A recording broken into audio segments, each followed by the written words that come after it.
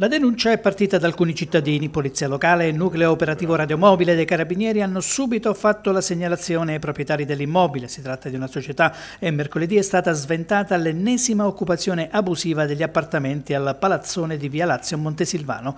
Tre le persone che si erano intrufolate forzando la porta dei locali al piano terra dove si trova un'ex piscina. Il passaggio è stato murato, così come sono stati murati alcuni ingressi interni degli appartamenti. Un blitz che il delegato alla sicurezza del comune Marco Forconi racconta così.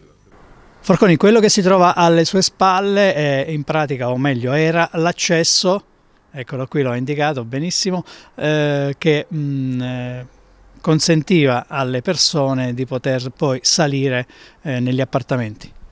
Sì, consentiva a dei criminali di entrare qui dentro e noi non potevamo tollerare eh, un ulteriore problema sociale che già avevamo risolto comunque a luglio dell'anno scorso.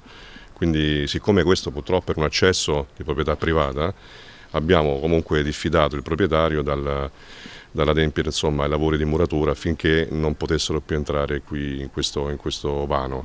Quindi i lavori di muratura sono stati fatti dal privato su vostra segnalazione? Sono stati fatti dal privato su nostra segnalazione ovviamente con la presenza delle forze dell'ordine, in particolare con due pattuglie della polizia locale e dei carabinieri che hanno ovviamente provveduto prima di murare a, a controllare, a verificare se c'erano persone all'interno dello stabile che effettivamente eh, stava accadendo, quindi sono state prima tolte queste persone e poi si è proceduto alla muratura finale. Quanto accaduto due giorni fa è solo l'ultimo intervento fatto al palazzone, ancora Forconi.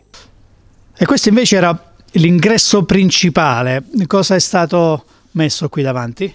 Allora, qui è stata fatta una, diciamo, una, elettroferratura in cemento armato, quindi impossibile anche da, da, da, da abbattere. Ovviamente perché? Perché eh, siccome eh, immaginavamo che ci potessero essere anche dei tentativi di intrusione anche eh, successivamente allo sgombero, il comune di Pescara, giustamente, intelligentemente, ha pensato comunque di predisporre eh, diciamo, una muratura molto, molto imponente.